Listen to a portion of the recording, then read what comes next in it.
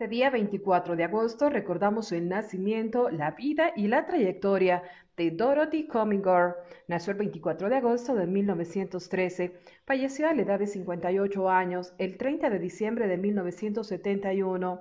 Dorothy Comingore fue una actriz de cine estadounidense, mejor conocida por interpretar a Susan Alexander Kane en Citizen Kane de 1941, la película debut aclamada por la crítica de Orson Welles.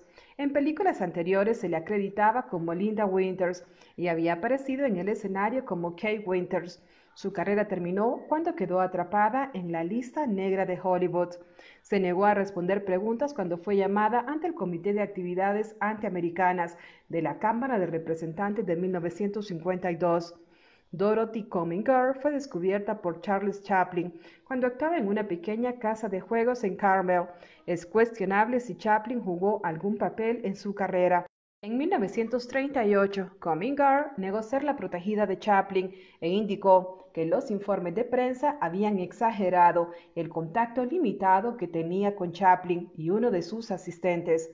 Comingar jugó papeles pequeños en las películas de Hollywood hasta que Orson Welles la eligió para interpretar a Susan Alexander la segunda esposa del magnate de la prensa Charles Foster Kane, en su primer largometraje Citizen Kane de 1941. Su actuación obtuvo críticas muy favorables. Ella se somete a una serie de emociones que pondrían a prueba a cualquier actriz que se pudiera nombrar, escribió The Hollywood Reporter. Comingore murió el 30 de diciembre de 1971 de una enfermedad pulmonar en Stunning, Connecticut, a la edad de 58 años. También se había roto la espalda años antes y posteriormente restringió sus movimientos, principalmente confinada a su departamento junto al mar.